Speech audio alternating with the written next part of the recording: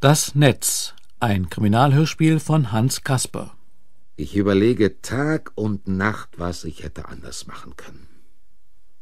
Mir fällt nichts ein. Nicht mitgehen, die Frau laufen lassen? Natürlich weiß ich heute, dass ich es hätte tun sollen, aber wie sollte ich es damals wissen? Es ist doch kein Trost, dass einem so etwas nicht zweimal passiert, das eine Mal genügt. Und das ist es überhaupt. Plötzlich geschieht es, und genau dies eine Mal macht man alles falsch, was falsch zu machen ist. Ein Fehler greift in den anderen, wie automatisch. Ja, ich hätte bis fünf im Büro bleiben sollen, wie jeden Tag. Dann wäre gar nichts gewesen. Aber die Zeichnung war fertig. Du, ich sitze hier nicht mehr rum. Ein Neuanfang ist sinnlos. Geh doch. Du musst nur noch auf deinem Blatt die Bodenverwerfung einzeichnen, dass es Anschluss hat. Zeig mal. Wo ist das bei dir? Hier, ja, ich sehe. Okay. Ich krieg den früheren Zug. Tschüss. Hau ab. Ich hätte eine Stunde gespart. Allerdings, meine Frau hat es nicht gern, wenn ich ihr nicht Bescheid sage. Und Zeit war noch gerade, bis der Zug ging. Aber die Telefonzelle war besetzt. Eine Frau. Wie konnte es anders sein? Sie hängen immer an der Strippe, als ob sie sie nie wieder loslassen wollen. Ob ich hier Blumen mitbringe? Schaffe ich nicht mehr. Oh Gott, was macht die denn da drin? Fummelt mit ihren Groschen rum. Nicht mal telefonieren können diese Weiber. Gleich drei Viertel. Wenn die noch lange mal... Die telefoniert ja gar nicht. Was macht die denn? Zum Donnerwetter! Entschuldigen Sie, aber mein Zug geht gleich. Können Sie nicht ein bisschen... Ich war auf ein Gezeter gefasst. Ich meine, freundlich war ich auch nicht gerade. Oder auf eine Entschuldigung. Es gibt ja auch höfliche Leute. Nichts von beidem. Was völlig anderes. Wie soll ich's ausdrücken? Ich bin bei Gott nicht bei der Heilsarmee. Ich warte nicht auf ein Unglück, um mich in erste Hilfe zu stürzen. Aber hier das Gesicht von dieser Frau, das, das fiel mich an mit Trostlosigkeit. So was von Verzweiflung in einem Gesicht hatte ich noch nie gesehen. Die Augen waren überhaupt nicht mehr da. Ich hielt die Tür, die Frau kam raus und ging weg.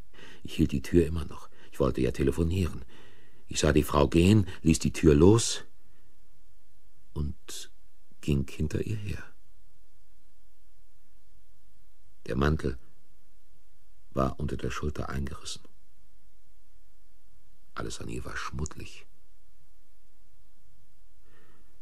Vor dem Bahnhof hatte ich sie eingeholt. Kann ich Ihnen helfen? Um Gottes Willen. Haben Sie was am Herzen?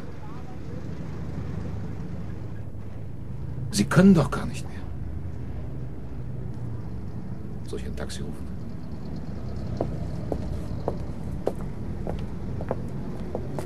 Ich bringe Sie nach Haus. Wo wohnen Sie?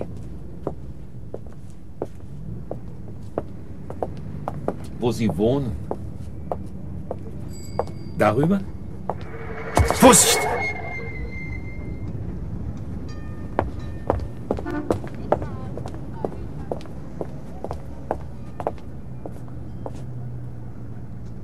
Hier.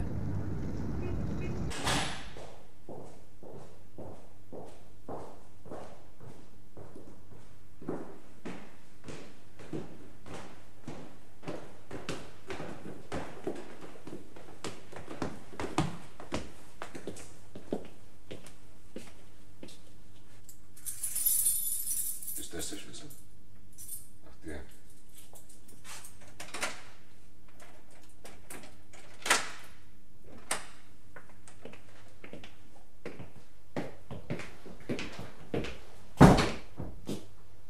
Wo ist der Schalter?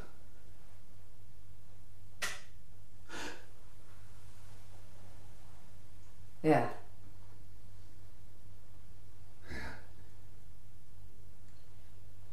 Wer ist das?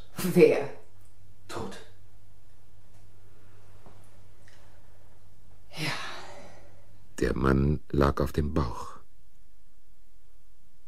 Die tiefe Wunde im Hinterkopf sah aus wie ein grässlicher Mund. Seine Arme hatte er noch im Tode an der Hosennaht. Er hatte sich offenbar ganz gehorsam ermorden lassen. Rechts war das Beil. Es lehnte an der Wand. Folgte das Auge dem Stiel nach oben, stieß es bald auf Dürers gefaltete Hände in Silber. Ihr Mann? Ja. Wer war's? Ich? Sie?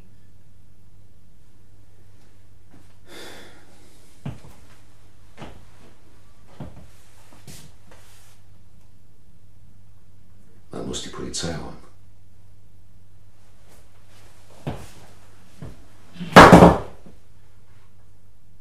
Mit diesem Beil? Hm. Was wollten Sie denn auf dem Bahnhof? Die Polizei holen? Ich werde sie holen. Was. Was blitzt in deinem Zimmer? Es blitzt immer. Die Fische. Was blitzt immer?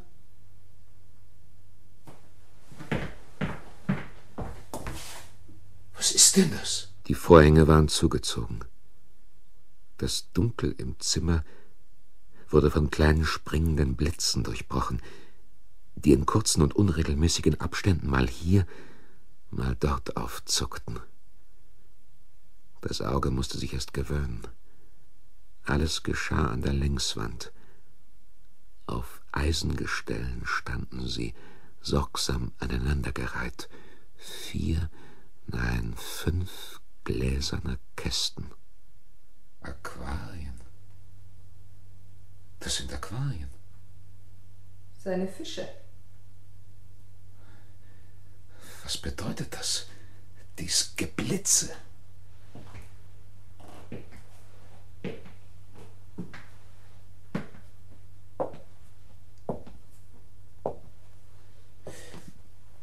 Machen Sie mal Licht. Danke. Sie sind alle miteinander verbunden. Ja.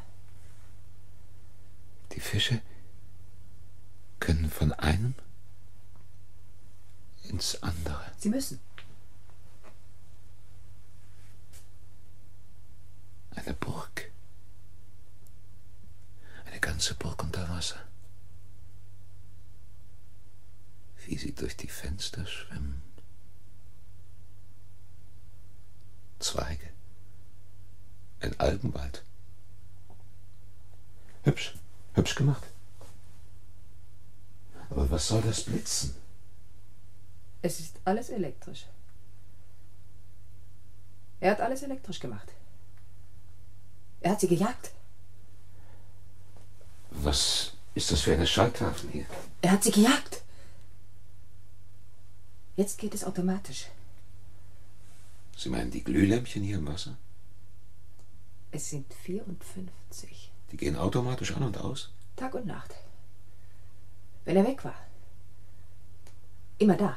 Da, da, da, da, da, da. Sie sollten keine Ruhe haben. Auch wenn er weg war. Und wenn er hier war? War er an der Schalttafel. Sie einzeln gejagt. Wen er nicht leiden konnte.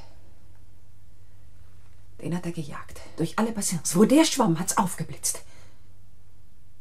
Es war immer einer da, den er nicht leiden konnte. Ein Fisch? Oder ein Mensch. Oder irgendetwas. Oder ich. Karl hat er drei Stunden gehetzt. Dann war er tot. Wer war Karl? Dann schwamm er oben, Bauch nach oben. Weiß. Aufgebläht. Ich musste mir's ansehen. Karl war ein Fisch? Einer von den großen Grünen. Ein Zierfisch. Können Sie das nicht abstellen? Nein, nein, nicht abstellen. Aber es ist ein Martyrium für die Fische. Ja. Er hat alle erschreckt. Immer zu, immer zu. Bitte. Es wird mir keiner glauben, wenn Sie abstellen. Bitte. Ich fand den Schalter und stellte ab. Der Fischer bemächtigte sich fast eine Panik. Sie schossen hin und her. Sie wussten nicht, was los war. Sie waren das Schreckliche gewöhnt. Die Frau schrie auf. Ihr Schrei ging in panisches Weinen über. Bitte, beruhigen Sie sich. Beruhigen Sie sich. Ich habe doch nur abgestellt. Sie werden es mir nicht glauben. Keiner wird es mir glauben. Haben Sie ihn deshalb umgebracht? Er hat mich erschreckt. Wie hat er Sie erschreckt? Ich weiß nicht. Erinnern Sie sich. Versuchen Sie sich zu erinnern. Nein, Man wird Ihnen glauben. Er fiel. Was? Wie meinen Sie das? Er war gar nicht hier. Er war weggegangen. Auf Tour vor Tagen. Ich mache die Besentür auf. Er fällt mir entgegen. Tot? Nein. Ja, ich weiß nicht. Er, er fiel wie eine Leiche, ganz starr. Die Hände am Körper. Er hat es bestimmt wochenlang geübt. Ich kam vom Hof. Sie kam von unten. Ich kam vom Hof. Ich hatte das Beil. Ich hatte Holz gehackt. Ich mache die Besentür auf. Da fällt er mir entgegen. Da liegt er. Und Sie? Sie haben zugeschlagen. Ja. Neulich hing er am Fensterkreuz im Badezimmer, wie ich komme. Aufgehängt. Ganz blau. Ganz blau. Er hatte den Tuschkasten von der Kleinen genommen, sich das Gesicht ganz blau gemacht. Er hing am Fensterkreuz. Beruhigen Sie sich.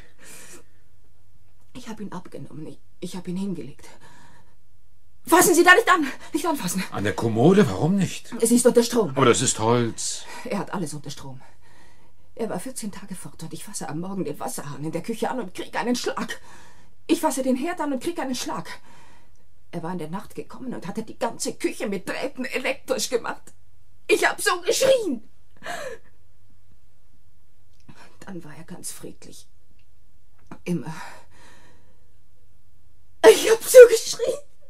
Ich hab so geschrien. Die Frau war in einem Zustand, dass ich Angst bekam. Nebenan war das Schlafzimmer. Ich brachte sie hinein und versuchte sie zu beruhigen. Ich wollte zur Polizei, aber ich konnte die Frau so nicht allein lassen. Ich redete ihr zu wie einem Kind. Ich suchte nach einem Mittel, aber es war alles abgeschlossen, verriegelt, zugesperrt, auf üble Art geordnet. Hinterhältig das Ganze. Sie sprachen vorhin vom Tuschkasten der Kleinen. Haben Sie ein Kind? Nein, Ach so. Angela ist tot. Sie hatten ein Kind. Herzschlag. Herzschlag? Herzschlag, vom Doktor bestätigt. Ich kam nach Haus, da lag sie. Herzschlag, vom Doktor bestätigt.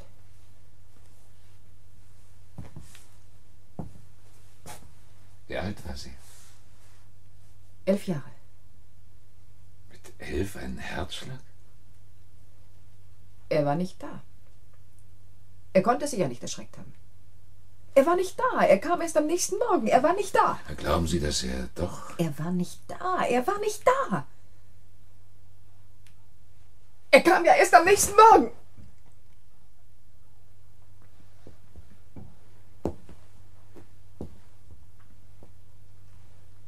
Und im Keller fand ich die Decken. Seine Schlafdecken. Sie waren noch warm. Warum sind Sie nie zur Polizei gegangen? Ich bin zur Polizei gegangen. Und? Sie haben mich gefragt, was tut er? Ich habe gesagt, er erschreckt uns. Da haben Sie gesagt, da haben Sie einen Kauz geheiratet, Frau. Aber das ist doch kein Grund, zur Polizei zu kommen. Sie hatte sich, so makaber das Thema war, etwas beruhigt. Vielleicht, dass sie es erzählen konnte. Das war schon eine Erleichterung. Sie hatte ein paar müde Fältchen um den Mund. Die Haare hingen ihr unordentlich in die Stirn. Keine Frage, sie war in dieser Ehe verschlammt. Aber es ging nichts Böses von ihr aus, obwohl sie in dieser Umgebung lebte, gelebt hatte. Jahre, viele Jahre. Ich verstehe es jetzt nicht mehr ganz, aber auf einmal kam mir der Gedanke absurd vor, zur Polizei zu gehen. Ich dachte nur daran, wie schrecklich es sei, diese Frau aus dem Gefängnis ihres bisherigen Lebens jetzt auch noch in das andere Gefängnis überwechseln zu lassen. Der Gedanke kam mir vor allem ungerecht vor, absurd in seiner Ungerechtigkeit. Was hatte sie getan? Sie hatte versucht, sich vom Schrecken zu befreien, einem Schrecken, von dem sie die herrschende Gerechtigkeit nicht befreit hatte, vielleicht nie hätte befreien können. Man sagt das so, der Mensch kann sich helfen. Aber das tägliche ist eine Fallgrube. Da ist kein Ausstieg. Steile Wände und hoch oben der Himmel. Kein Ausstieg. Man sagt das so, die Frau kann sich doch scheiden lassen. Kann man so einfach den Knoten entwirren? Geduldig, geschickt, genau? Ist man so klug und vernünftig, wie es die Umwelt ist, die einem rät? Sind Schatten mit Händen zu greifen und zu zerbrechen? Das Mitleid, das mich überkam, war übermächtig und nahm skurrile Formen an. Ich hörte mich plötzlich sagen, wir wollen doch mal ganz ruhig überlegen, was zu tun ist. Was soll zu tun sein? Es gibt immer irgendeinen Ausweg. Das glauben Sie? Doch. Ja, sowas wie das Beil. Nein. Ich finde nur. Ich meine, ich, ich verstehe Sie. Bitte glauben Sie mir, ich kann Sie verstehen. Das wäre ja schlimm. Oh, nein. Mich kann keiner verstehen. Aber ich. Ich möchte Ihnen helfen. Helfen? Warum wollen Sie mir helfen? Das ist doch egal. Wie kann ich Ihnen helfen? Wie? Sie könnten zur Polizei gehen. Das fällt mir schwer. Das wäre nicht viel. Sie können vor Gericht aussagen, was ich Ihnen erzählt habe, aber es wird Ihnen keiner glauben. Warum? Die sagen Kauz, die sagen Herzschlag, die glauben nichts. Außerdem war er überall sehr beliebt. Er hat allen anderen geholfen. Er hat unten im Haus elektrisch gelegt. Alle hatten ihn gern. Es wird ihnen keiner glauben. Sie sagten, er war viel auf Tour. Wochenlang, die meiste Zeit. Hat ihn heute jemand im Haus gesehen? Nein. Nein. Woher wollen Sie das wissen? Wenn er erschrecken wollte, kam er durchs Fenster hinten. Sind Sie sicher? Die Leute im Haus hätten mir sonst sagen können, dass er hier wäre. Ah, das ist gut. Es ist vielleicht sehr gut, dass ihn keiner gesehen hat. Warum? Dann ist er auch nicht hier. Wie nicht hier? Ich stand auf. Ich handelte wie unter Zwang. Ich tat etwas, was ich mir heute mühsam erklären muss, obwohl ich kann mir auch heute, wenn ich es mir erkläre, kaum vorstellen, dass ich es nicht so genau so habe tun müssen.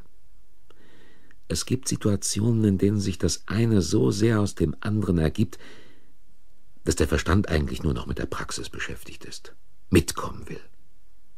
Es eilt alles so sehr, die Sache selbst eilt so sehr, dass man nicht auch noch überlegen kann, ob sie richtig ist. Es fehlt einfach die Zeit. Ich ging hinaus auf den Flur. Was tun Sie?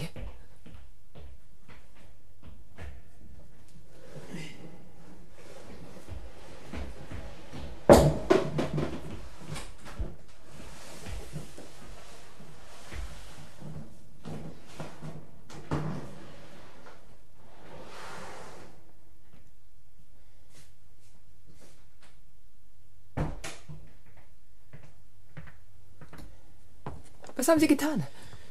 Die Leiche musste vom Flur weg. Wieso? Verstehen Sie denn nicht?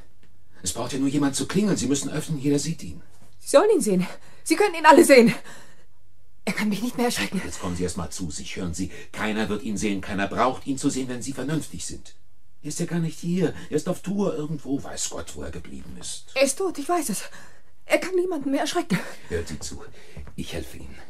Sie sind nicht schuld. Sie brauchen nicht zu büßen, was ein anderer Ihnen angetan hat. Ich habe ihn tot gemacht. Ich. Wir müssen sehen, wie wir die Leiche fortbekommen. Das ist alles. Nein! Nein, nicht. Die Leiche muss bleiben. Sie muss fort aus der Wohnung fort. Dann kommt er wieder. Immer wenn er fort war, kam er wieder. Plötzlich. Er kann nicht wiederkommen. Er ist tot. Ja. Nicht wahr? Er ist tot. Aber Sie sollen dafür nicht leiden. Sie haben genug durchgemacht. Meinen Sie, dass er tot ist? Das Beil ist scharf. Sie haben ein richtiges Beil genommen. Seien Sie ganz unbesorgt. Wo haben Sie einen Eimer? In der Küche. Ich habe ihn tot gemacht. Ich habe ihn ins Badezimmer gebracht. Aber das Blut muss aus dem Läufer raus. Sind in der Küche Lappen? Ja. Das muss erstmal provisorisch raus, dass es keiner sieht. Das ist auch nicht viel. Und später müssen Sie einen neuen Läufer kaufen. Haben Sie verstanden? Einen neuen Läufer. Ich ging in die Küche, fand, was ich suchte und machte mich an die Arbeit. Es war wirklich nicht viel Blut, zwei, drei Flecken, sie gingen rasch heraus. Das rötliche Wasser goss sich in die Toilette. Ich musste über den Toten steigen. Es machte mir nichts aus. Der Vorgang hatte mich völlig in der Gewalt. Außerdem befiel mich jetzt zu diesem Zeitpunkt, ich erinnere mich deutlich, eine spürbare Gewissheit, das Rechte zu tun. Nicht nur das Richtige, das Notwendige, sondern das Rechte. Es war eine Stunde, in der ich, ich allein, darauf angesetzt war, eine Gerechtigkeit zu üben, die niemand außer mir üben konnte. Und wenn ich mich, denn darüber war ich mir trotz allem klar, wenn ich mich auch außerhalb der Gesetze stellte, so tat ich es als Mensch, für den ja die Gesetze gemacht sind. Diese Logik befriedigte mich sehr. Und der Gedankengang half mir bei der Arbeit. Als ich fertig war, ging ich ins Zimmer zurück. Haben Sie sich ein bisschen erholt? Ja, danke. Ähm, was ich fragen wollte, erwarten Sie irgendjemanden? Besuch? Bekannte, die in die Wohnung kommen können? Nein. Gut. Das Badezimmer habe ich übrigens abgeschlossen. Ach ja, die Lappen hier. Ich tue sie in den Ofen.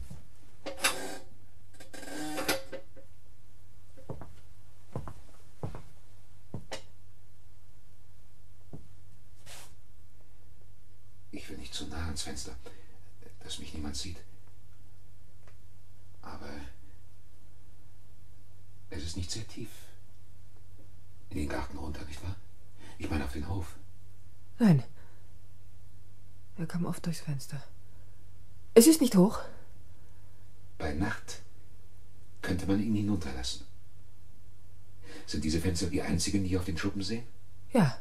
Unser Stock ist ja vorgebaut. Sehr gut. Sie kennen mich doch gar nicht. Ich kenne Ihr Leben. Und ich schwöre Ihnen, dass ich Ihnen helfe. Aber ich bin verrückt. Sie sind nicht verrückt. Sie haben in einem Irrenhaus gelebt. Sie sind ganz normal. Wenn das alles hinter Ihnen liegt, fangen Sie neu an. Denken Sie jetzt nicht so viel daran. Versuchen Sie mir zu helfen. Sie meinen hier hinten? Zum Fenster raus? Ja, Aber dann? Wohin? Ich weiß nicht. Ich weiß noch nicht. Aber es muss eine Möglichkeit geben. Wollen Sie nicht zur Polizei? Nein. Ich will nicht zur Polizei.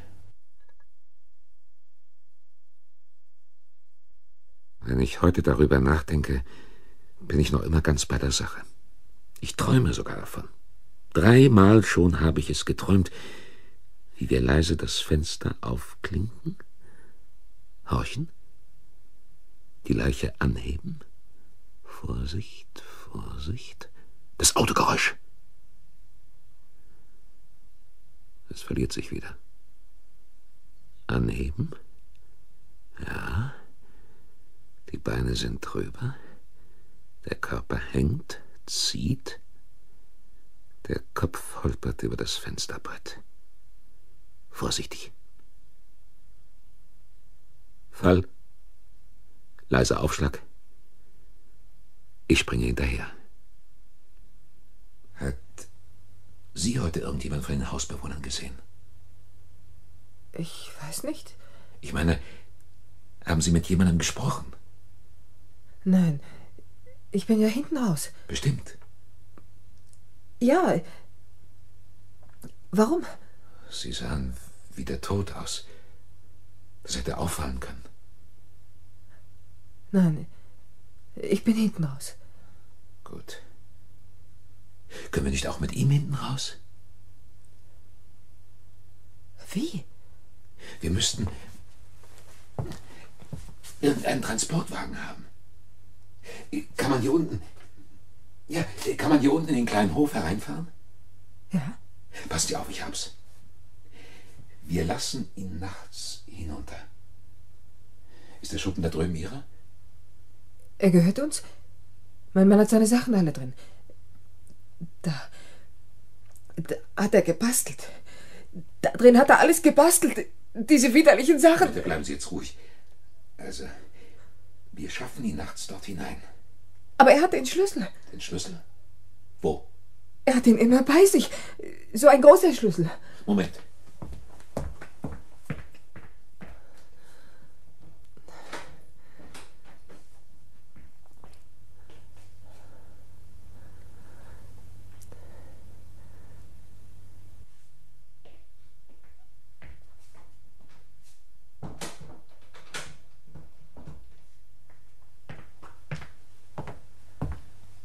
Ist er das? Ja. Wie können Sie das alles? Was? Warum helfen Sie mir? Wir schaffen ihn nachts dort hinein. Am Vormittag komme ich. Ich kann doch irgendetwas abholen wollen.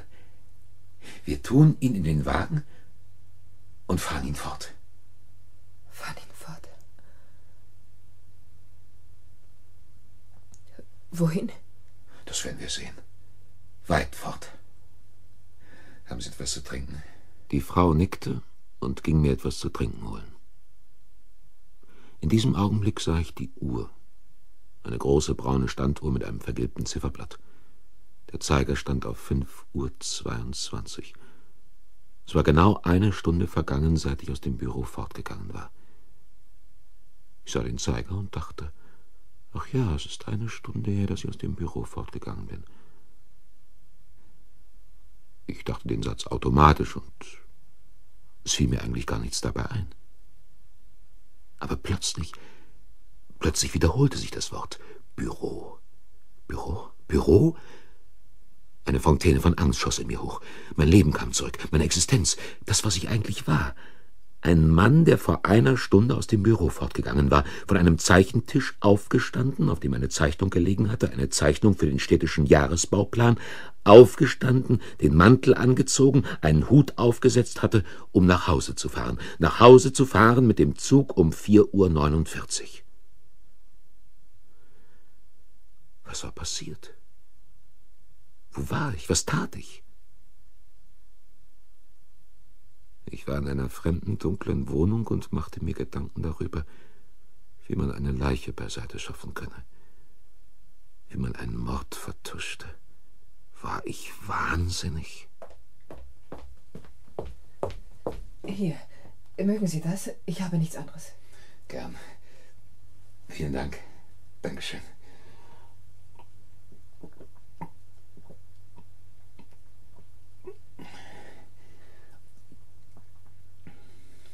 Ich habe mir das eben überlegt.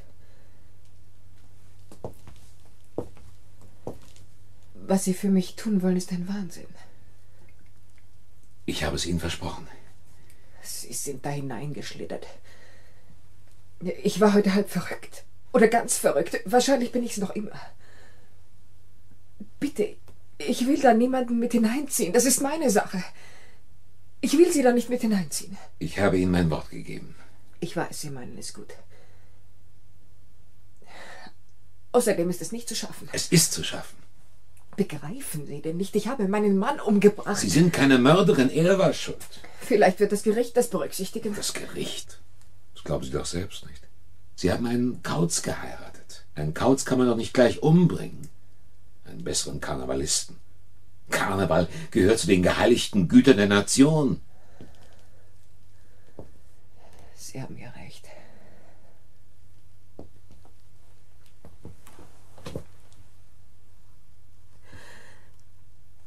Wer soll mich verstehen?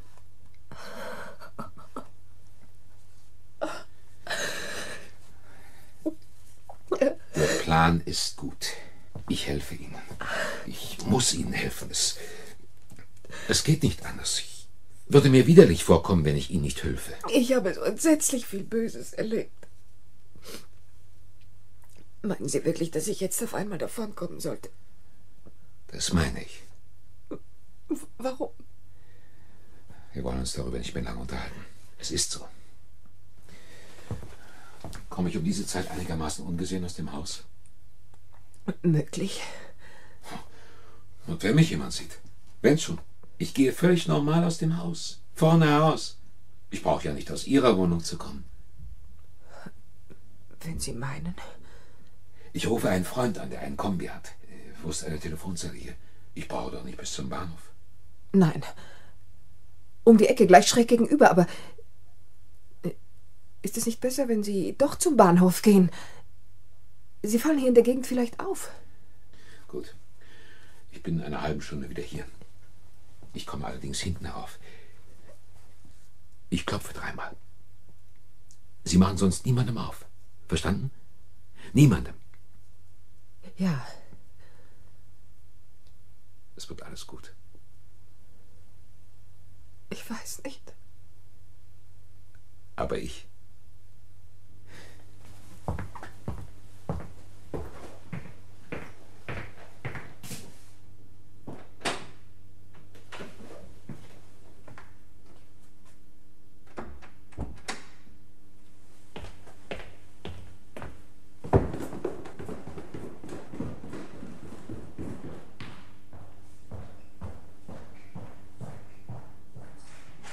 Befand mich in einem merkwürdigen Zustand. Ich war wie im Traum und zugleich hellwach. Ich war völlig durcheinander und überlegte eiskalt. Auf dem Weg zum Bahnhof musste ich mich zusammennehmen, um nicht umzufallen. Jedenfalls regulierte ich meine Schritte so, dass ich weder zu schnell noch zu langsam ging. Ich bildete mir ein, dass beides von Vorübergehenden hätte beobachtet werden können. Aber schließlich wurde ich ruhiger. Meine Vorstellungen normalisierten sich. Ich wusste, was ich zu tun hatte. Ich ging in den Bahnhof und führte zwei Telefonate. Ich rief zu Hause an und erzählte meiner Frau etwas von einer Zeichnung, die unbedingt heute noch fertig werden müsse. Ich käme später. Ich war sogar genau genug, ihr zu sagen, dass sie mich im Büro nicht mehr erreichen könne, weil die Zentrale unten Schluss mache und ich vom Zimmer nicht mehr sprechen könne. Es wurde spät, sie solle nicht auf mich warten. Dann rief ich Ernst an.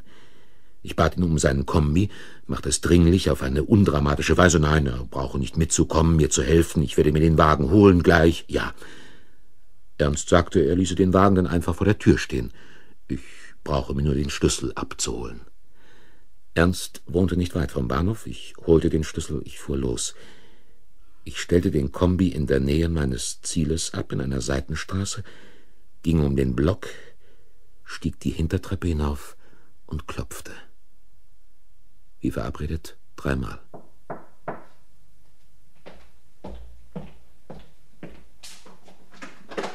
Herr Auer?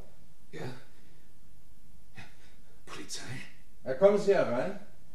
Wieso? Ich. Da kommen Sie schon. Wir haben Sie erwartet. Liebling, verzeih. Ich konnte nicht anders. Wie? Was. Was soll das alles? Ich hab sie geholt, Manfred.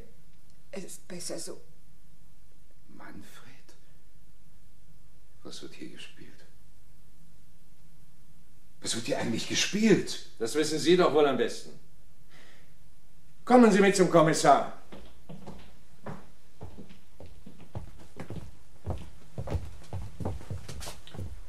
Ah, Herr Auer. Pech gehabt. Ihre Freundin hat die Nerven verloren. Sie hat uns geholt. Meine Freundin? Ach, Sie mochten Frau Heumann nicht. Ich kannte sie überhaupt nicht. Manfred, Liebling, es hat doch keinen Zweck mehr. Ich schwöre Ihnen, ich habe diese Frau vor zwei Stunden kennengelernt. Und dann gleich ihren Mann umgebracht. Das ist prompte Arbeit. Aber, aber ich, ich habe Ihren Mann nicht umgebracht. Ich wollte ihr nur helfen. Wenn Sie es so nennen wollen. Ich habe einen toten Mann gefunden. Sie haben eine Leiche gefunden und wollten sie nur gefälligkeitshalber aus dem Wege räumen. Ja, ja, ich wollte. Ein Gentleman, das muss man sagen. Machen Sie das öfters? Herr Kommissar. Alles, was Sie dazu zu sagen haben, Herr Auer, können wir später noch genauer durchsprechen. Woher kennen Sie überhaupt meinen Namen? Frau Heumann war so freundlich, uns den Namen Ihres Liebhabers mitzuteilen. Ihres Liebhabers? Und des Mörders Ihres Mannes. Aber. Aber das ist ja alles Wahnsinn! Woher kannte sie denn überhaupt meinen Namen? Spielen Sie hier kein Provinztheater, Herr Auer. Außerdem hätten wir Ihren Namen auch so gekannt. Sie haben geschwitzt, Auer. Ge geschwitzt? Ja, so eine Leiche ist ja kein Leichtgewicht.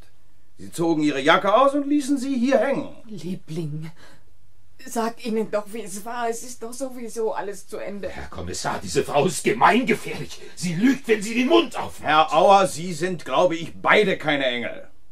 Aber Lügen ist bestimmt nicht ganz so gefährlich wie einen Menschen umbringen.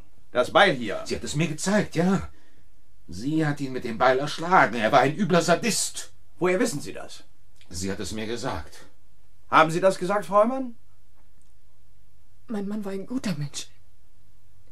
Ich habe ihn nicht mehr geliebt, das stimmt, aber er war. Er war ein guter Mensch. Alle haben ihn gern gehabt. Aber das ist der Höhepunkt. Sehen Sie sich doch die Aquarien dort drin an. Er war ein hundsgemeiner Tierquäler, ein, ein, ein Menschenquäler. Manfred! Jochen ist tot. Wir wollen nichts über ihn sagen, was nicht stimmt. Die Fische haben es doch sehr gut. Wo haben Fische so hübsch eingerichtete Aquarien? Herr Kommissar! Herr Auer, jetzt rede ich mal. Dieses Beil hier, kennen Sie es? Ja. Sie hat es mir gezeigt. Sie hat ihn mit dem Beil erschlagen. Frau Heumann. Frau Heumann soll mit diesem Beil ihren Mann erschlagen haben. Ja. So eine zarte Person. Herr Auer. An sich ist doch sowas mehr Männersache, meinen Sie nicht auch? Ich schwöre Ja, Ihnen. vielleicht werden Sie noch schwören müssen. Also, wie war die Geschichte nun wirklich? Sag, wie es war, Liebling. Sag, wie es war. Nennen Sie mich gefälligst nicht immer Liebling, Sie unverschämte Person! Ruhe, meine Herrschaften, Ruhe! Hab ich nicht verdient. Manfred, das hab ich nicht verdient. Bitte seien Sie jetzt still, Frau Heumann. Also, Herr Auer, wie ist das Ganze passiert? Ich sagte dem Kommissar, wie es war. Ich sagte es ruhig, ich schilderte es genau, ich wurde grob, ich schrie, ich stöhnte unter der Anstrengung, den Schutt an Lüge und Gemeinheit abzutragen. Der Kommissar hörte sich alles an, zuerst ruhig, dann präzise nach Details fragend, dann grob werdend, weil ihm meine Angaben zu willkürlich schienen. Die Frau machte alles besser als ich. Sie enthielt sich jeder Beschuldigung gegen meine Person. Ihre weinerliche Geschichte war durchsetzt mit Entlastungen für mich. Das Liebling, mit dem sie mich titulierte, floss ihr von den Lippen, als ob uns tausend Nächte traut verbänden.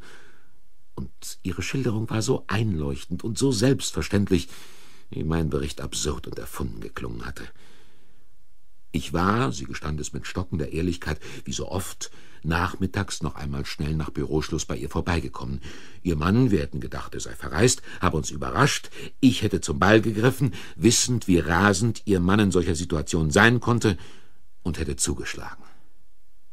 Sie müsse sogar sagen, es sei eigentlich Notwehr gewesen. Ja, Notwehr von mir, so unrecht wir beide, nicht wahr, Liebling, wir wissen es ja heute, so unrecht wir beide in der Sache gehabt hätten. Aber gegen Liebe, ihre Stimme erstickte, Was gäbe es gegen Liebe? Herr Auer, Sie bleiben also dabei, die Frau des Ermordeten vor dem fraglichen Tage überhaupt nicht gekannt zu haben. Herr Untersuchungsrichter, ich bin aus reinem Mitleid mit einer wildfremden Person mitgegangen. Herr Auer, es gibt gute Menschen. Aber gibt es so gute Menschen, wie Sie vorgeben, einer zu sein? Ich gebe nichts vor. Also so ein guter Mensch sind Sie. Sie gehen mit einer Weinenden mit, ihre Tränen zu trocknen. Sie finden eine Leiche und helfen der armen Mörderin, ihr Opfer zu beseitigen. Etwas zu viel Güte, meinen Sie nicht? Ja. Ich weiß. Ich verstehe mich heute auch nicht mehr. Ich bin da in etwas hineingeschlittert. So kann man es auch nennen. Apropos, Frau Heumann selbst. Frau Heumann selbst hat Ihnen gebeichtet, dass sie Ihren Mann mit dem Beil erschlagen habe. Ja. Wie erklären Sie sich dann, dass auf diesem Beil Ihre Fingerabdrücke sind? Nur Ihre Fingerabdrücke, Herr Auer. Ich habe es aufgenommen. Es, es lag neben der Leiche. Es war kein Fingerabdruck von Frau Heumann auf dem Beil. Sehr raffiniert. Wenn Sie genau nachdenken, Herr Untersuchungsrichter, spreche das eigentlich für mich, dass nur meine Fingerabdrücke auf dem Beil waren. Das genaue Nachdenken, Herr Auer, überlassen Sie am besten uns. Von Ihnen wollen wir reine Informationen. Sichten tun wir sie selbst. Aber Sie kam mit dem Beil aus dem Keller, als jemand in der Wohnung auftauchte. Das ist Ihre Version, Herr Auer. Frau Heumann bestreitet das entschieden. Aber etwas anderes. Sie behaupten, Sie kannten Frau Heumann überhaupt nicht. Wie konnte Frau Heumann dann Ihren Vornamen wissen? Ihren Namen? Den Namen Ihrer Frau? In meiner Brieftasche war ein Bild meiner Frau und meine Ausweise. Ich hatte meine Jacke ja mit der Brieftasche in Ihrer Wohnung gelassen. Wir haben daran gedacht, Ihre Behauptungen wurden überprüft. Aber es gab auch keinen einzigen Fingerabdruck auf Ihrer Brieftasche außer Ihren, Herr Auer.